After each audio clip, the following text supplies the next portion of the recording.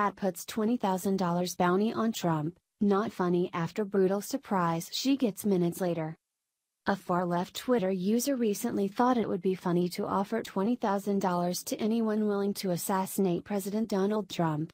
Too bad for her, she wouldn't be laughing after she got a brutal surprise just a few minutes later. Trump hating liberals are more desperate now than ever. Not only did the whole not my president thing not work out, but their highly praised Russian investigation isn't panning out exactly how they thought it would either. Of course, now we're seeing these desperate idiots grasp at straws by challenging the man's mental health in hopes that he will be impeached under the 25th Amendment, which allows for the vice president to become president in the event of death, resignation, removal from office or impairment that prevents the current president from fulfilling his or her duties. Too bad for them, even fellow leftists are calling out the pathetic move as indecent and unethical, saying that it would set a really bad precedent in the future.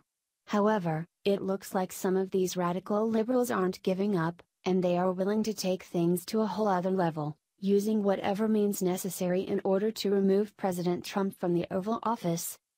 In fact, that was proven most recently by a far left Twitter user by the name of Andrea Hudson after what she publicly proposed. According to the Gateway Pundit, the woman put a $20,000 bounty on Trump's head to be paid to the person who could successfully assassinate the president.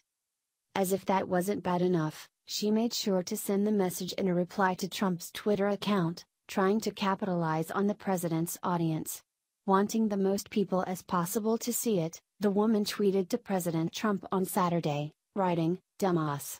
I got $20,000 for anyone willing to assassinate your ass, but that's about the time that things would go horribly wrong for her.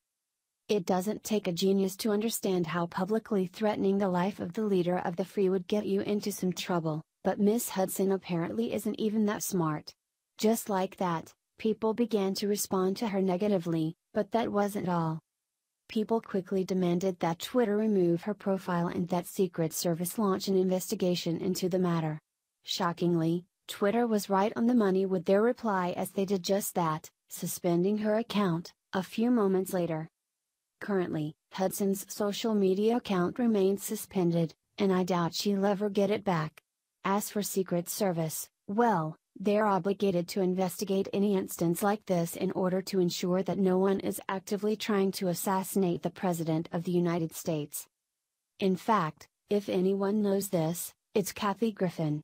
Remember how proud she was holding that bloodied Trump head as a joke? Just a few days later, though, after a visit by the Secret Service and public outrage, she was crying into a microphone, whining about getting death threats after posing with someone else's decapitated head. Hypocrisy much? Of course, she's since changed her tune after destroying her career, but no one is listening to the whiner anymore. One can only imagine what is happening with Hudson at the moment, but my guess is, life isn't too pleasant for her currently. It doesn't matter how much you don't like someone, you don't have the right to kill anyone, the fact that I even have to write those words shows just how disturbingly low the left has sunk when it comes to their moral standards. Sadly, things will only continue in this fashion unless an example is made.